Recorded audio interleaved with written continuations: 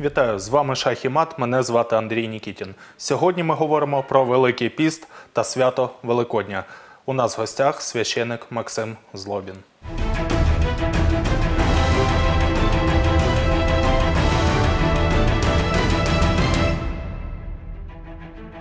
Священник Максим Злобін, протоієрей Української православної церкви, навчався у Почаївській духовній семінарії, закінчив Київську духовну академію, голова єпархіального відділу соціального служіння та благодійності Дніпропетровської єпархії УПЦ.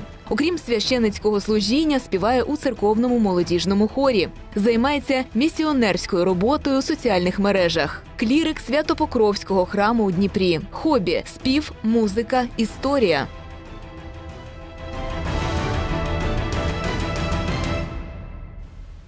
Отець Максим, я радий вітати вас у нашій студії. Е, Ну, власне, хотів би почати з Великого посту. У чому його взагалі сенс? Та сенс постів як таких у християнській традиції? Э, Постное время дано нам э, Богом для того, чтобы мы все-таки заглянули внутрь себя, отрешились от внешней суеты, которая отвлекает нас от самого главного, внутреннего созерцания. Постное время дано нам также для того, чтобы понимать, что мы не только здесь на земле проживаем вот эту, э, этот период нашего общения с Богом, мы и в душе, и в сердце его проживаем. Мы понимаем, что Господь рядом с нами. Мы понимаем, что мы идем вслед за Христом. Поэтому, если Господь постился на земле 40 дней перед тем, как выйти на свое общественное служение, то значит и мы идем вслед за нашим Спасителем и Господом. Поэтому смысл поста – это очищение души через ограничения в удовольствиях, в определенного рода еде, сосредоточении. Все это помогает нам быть ближе к Богу, прочувствовать наше внутреннее состояние. Ну, если говорить о периоде Великого Поста, конечно же, достойно подготовиться к встрече великого праздника Светлого Христового Воскресения. А до речі, от е, є якісь е, різниці між постами, скажімо, різдвяним, от е, великодним, який ми зараз переживаємо? Тобто це найдовший пост е, за, е, за тривалістю. От у чому особливість, скажімо, сам Великого посту? Ну, Великий пост, само название Великий, э, происходит от того, что он э, очень э, длинный по времени э, содержания своего, по времени того, как христиане соблюдают его, и является он самым строгим. То есть, если брать церковный устав, самый древний церковный устав, если мы будем поститься по типикону, то мы понимаем, что э, другого такого поста нет. Там есть элементы сухоедения, там есть элементы отказа от пищи не только животного происхождения, но даже от подсолнечного масла. То есть э, он очень строгий. Конечно же, вкрапляются в богослужение некоторые моменты, которые помогают человеку сориентироваться в духовной сфере, прийти э, на богослужение и прочувствовать все эти моменты, а, которые церковь с помощью молитвенных текстов хочет донести до смысла человека. Поэтому и по времени, и по внутреннему содержанию Великий пост, конечно, составляет огромную разницу остальным постам православной церкви.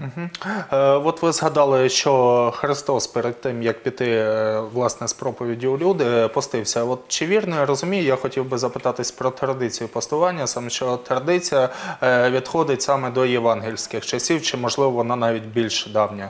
От як? Да, да, к э, несомненно, к евангельскому времени наш подвигоположник Христос, он постился, мы постимся с первых веков, и э, это время нам показано святыми апостолами, апостольскими правилами и также временем э, первохристианским. Тогда, когда люди в первые века христианства, услышав проповедь о Христе, уходили в пустыню, в египетскую пустыню в том числе, налагали на себя постное время, это был не только период поста, они вообще всю свою жизнь соблюдали пост, они не вкушали пищу животного происхождения. И вот церковь сквозь года и столетия, она настолько прониклась вот этим подвигом этих первых христиан, что со временем впитала в себя их подвиг. Казалось бы, это подвиг может быть, даже и не для мирян, а для монахов.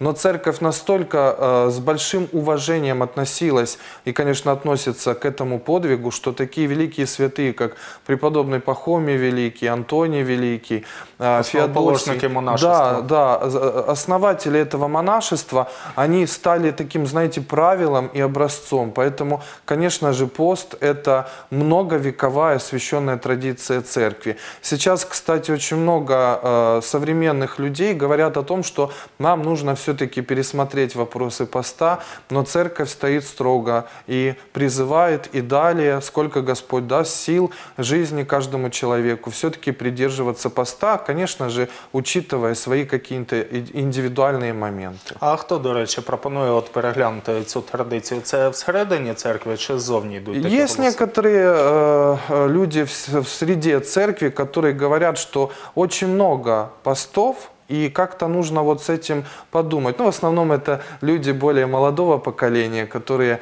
э, хотят чего-то нового. Вот, э, более консервативно настроенные верующие, конечно, они стараются соблюдать пост по всем стро- строгим правилам. И даже мы, священники, иногда э, людей уже почтенного возраста, нам приходится ругать и говорить, что слишком уже вы соблюдаете пост, уже в вашем возрасте соблюдать так пост не нужно. И люди э, слушают нас, прислушиваются. Но вот что поразительно, да, э, в возрасте человек и старается, служит Богу, старается исполнять эту христианскую традицию, несмотря на свой возраст, на какие-то уже немощи. Поэтому церковь это живой организм, есть всякие, всякого рода мысли, но все-таки рано или поздно человек приходит к тому, что соборный разум церкви – это голос Божий, голос Духа Святого. Поэтому м, прислушиваются эти люди к голосу церкви и стараются по мере своих сил соблюдать а, постное время. Е, Так, ви дещо вже сказали про це, що м, пост це не лише їжа, да? але чи можна говорити, що пост е, це в першу чергу обмеження в їжі, чи так говорити все-таки не можна? Все-таки нам всегда нужно э, говорить о том, что у э, поста есть две стороны. Это физический пост и духовный. Они вместе идут всегда, и невозможно э, поститься физически, но не поститься духовно. Тогда это сводится, конечно же, к определенному роду ну, какой-то диеты, может быть, сообразованной по времени с э, постом православной церкви, Великим, Петровским, Рождественским или Успенским. Но если человек соблюдает физический пост, не соблюдает духовный пост, и все-таки мы знаем и понимаем, что такой пост, он будет неугоден Богу, потому что мы должны проводить постное время в радости духовной, в чтении священного писания, э, духовной литературы, в изучении творений святых отцов и, конечно же, э, в обязательном посещении, еще более усердном посещении э, богослужений. И последний акцент – это внутреннее опять внимание к себе, и это, конечно же, творение, еще больше творение добрых дел. Е, Так, отець Максим, я от у мене питання і стосовно духовної частини, і стосовно фізичної. А як е, от е, людині, скажімо так, яка близька до православ'я, визначитись із тим, у чому саме себе обмежувати? От як це? Це треба приходити до священника консультуватись, чи, чи як? Чи так, як я сам відчуваю? Ну, на самом деле, да, очень важно здесь понимать, что я как христианин являюсь не самобытной частицей э, христианства, а все-таки частью церкви. Поэтому э, меру своего личного поста, особенно в современных условиях, лучше всего нам сообразовывать и с духом церкви, и э, со своим духовным наставником. Все-таки мы всегда об этом говорим и призываем. У каждого человека должен быть духовный наставник, духовник, с которым ты будешь решать свои духовные э, вопросы, проблемы, которые возникают в процессе и становления христианской жизни, и проведения этой христианской жизни. Поэтому э, мы все очень разные, и нужно сообразовывать. И поэтому лучше всего прийти к священнику, пообщаться с ним. Если это твой духовный наставник, он тебя знает, он обязательно тебе определит и скажет, что, например, в твоем состоянии, в твоем положении, ты только делаешь первые ступени э, на пути к осознанной христианской жизни, поэтому откажись, например, от мяса.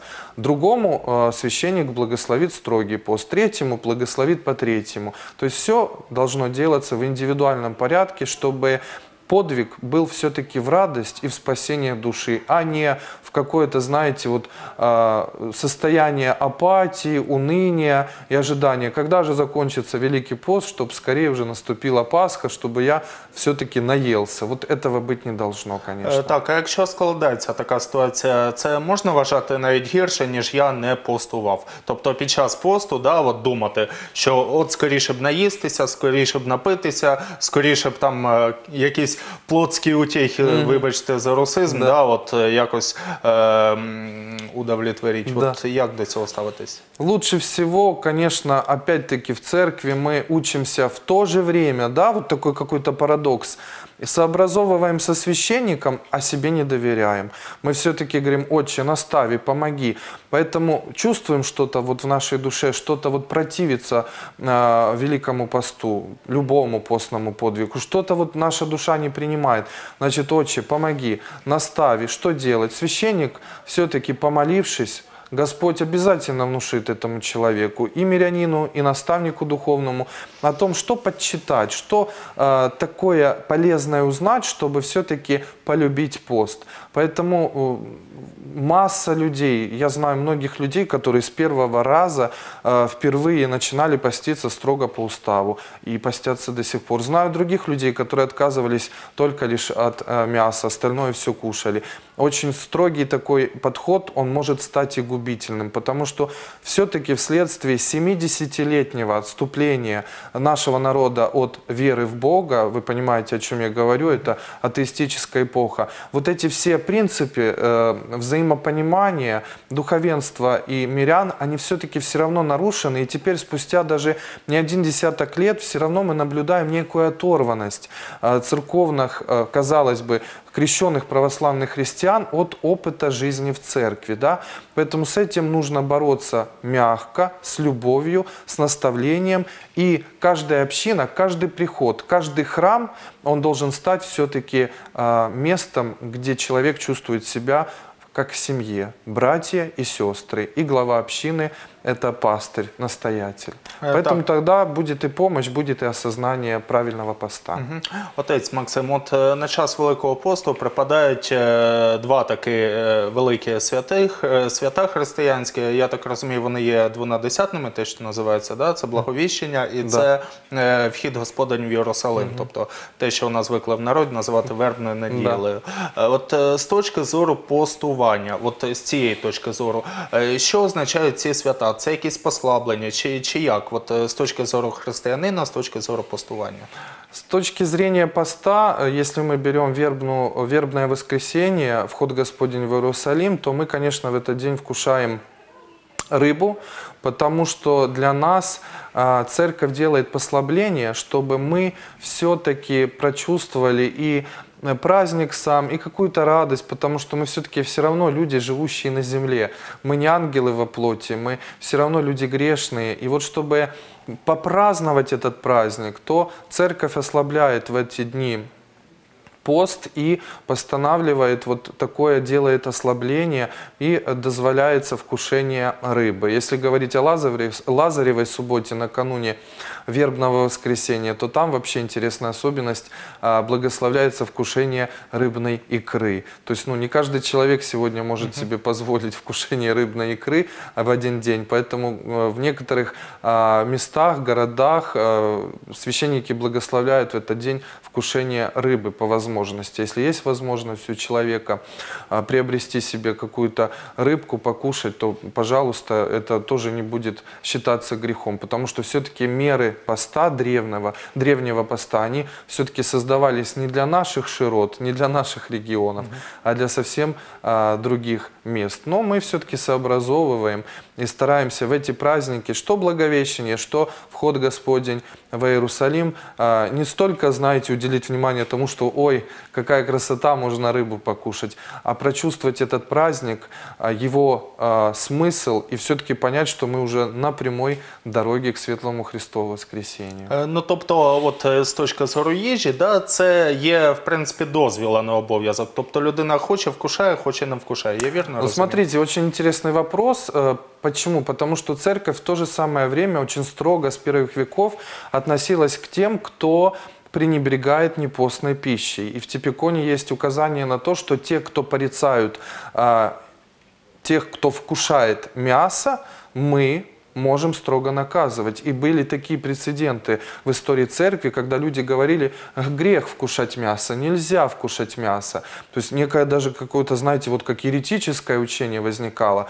Все, что э, дано в снеть человеку, Богом благословенно. Ничто нельзя почитать нечистым. Не то, что входит в уста человека, оскверняет его, а то наши действия, наше желание, наш разговор, наша беседа, которую мы произносим, наши помыслы, э, с которыми мы- мы общаемся, вступаем в какое-то соображение. Вот это нас оскверняет. Поэтому здесь церковь тоже строго следит и говорит, ой-ой-ой, это опасно. Возомнить себя великим постником очень опасно. Поэтому церковь специально накануне Великого Поста выделяет одну неделю, где а, неделя мытаря и фарисея, где она отменяет пост, чтобы никто не думал, что он достиг какого-то высокого а, духовного состояния.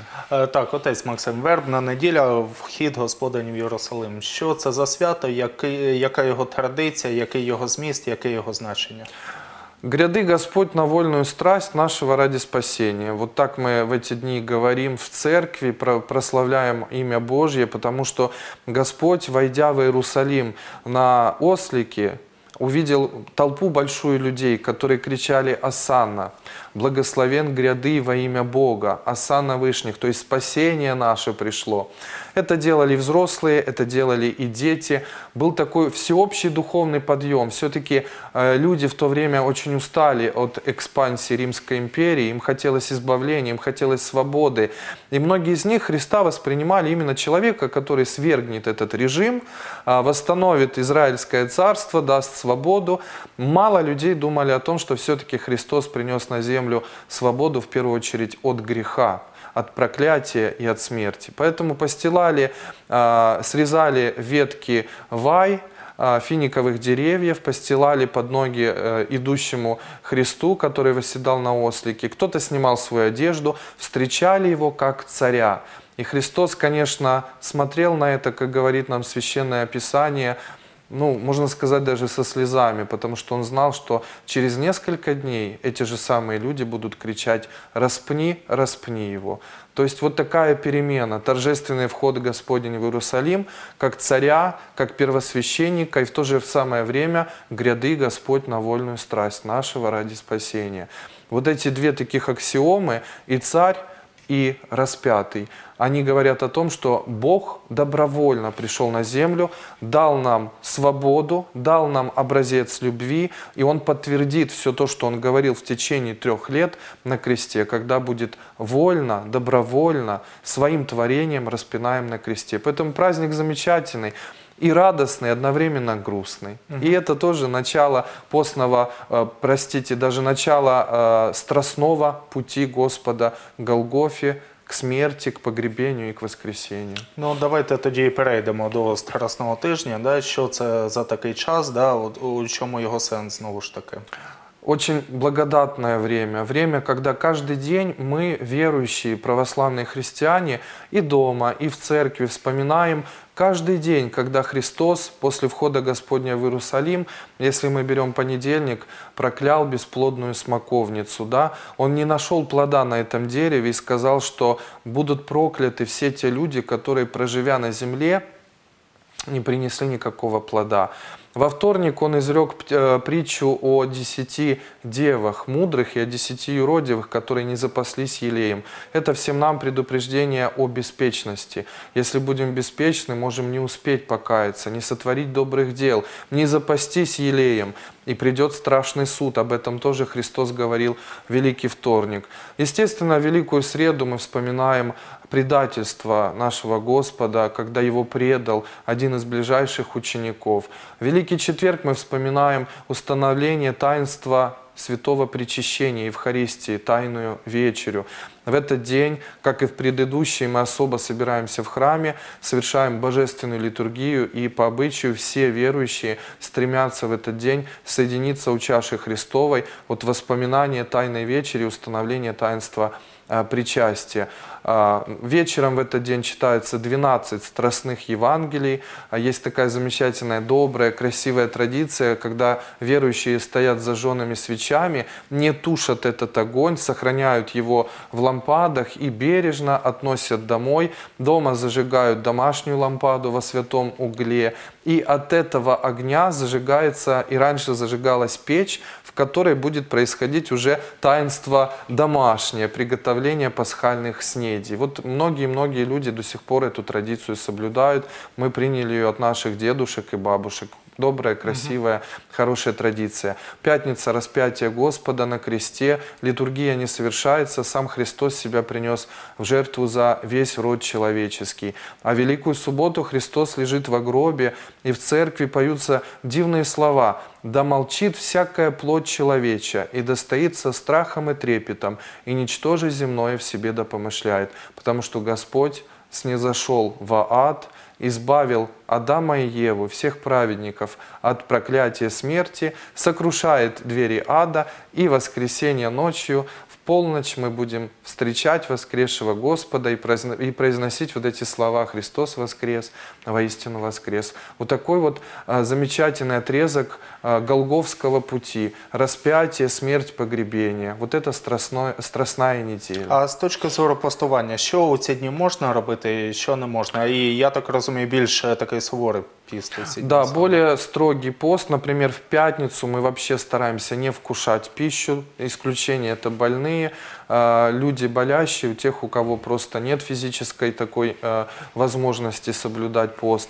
В эти дни мы уже, да, мы уже духовно сосредоточены. Кстати, несмотря на то, что э, в принципе, Страстная неделя стоит особняком от Великого Поста. То есть Великий пост заканчивается перед выходными в пятницу. Уже поем мы в церкви э, «Святую Четыредесятницу совершивши, воздадим славу Богу». И вот многие говорят, так пост закончился, а мы продолжаем поститься. Но как же мы можем, э, взирая на подвиг э, Спасителя, начать уже праздно- праздновать Светлое Христово воскресенье? Поэтому с древности, с первых веков мы добавляем к себе, к постному времени, этот период а, страстного э, времени, когда мы вспоминаем и, как бы, знаете, со Христом идем на Голгофу. Мы вспоминаем о своих грехах, о своих промахах, о том, чего доброго, хорошего мы не сделали.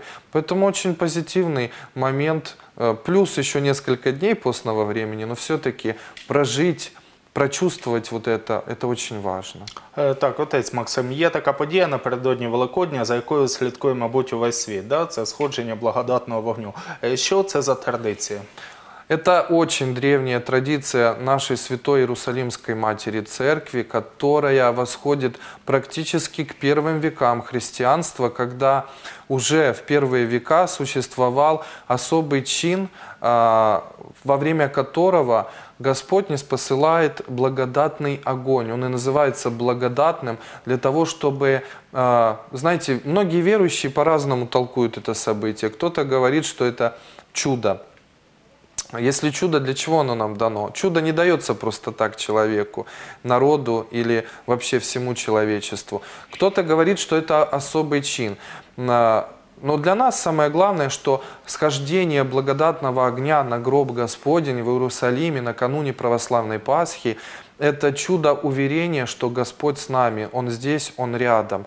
И если человек соблюдает, он знает это все, он читает духовные тексты, он понимает, что это чудо, данное нам для укрепления нашей веры. И до сих пор многие, не только наши дедушки и бабушки, даже у меня есть друзья моего возраста, которые э, раз в год всегда они мне присылают э, сообщения. Слава Богу, благодатный огонь сошел, год еще будем жить. Есть такое поверье среди верующих людей, что если не сойдет благодатный огонь, то э, кончина мира наступит. Ну, конечно, это уже такое, знаете. Це легенда. народное. Отець Максим, буквально дві хвилини у нас лишається, і підсумовуючи вже Великий е, Пасха, тобто Великодень. Да?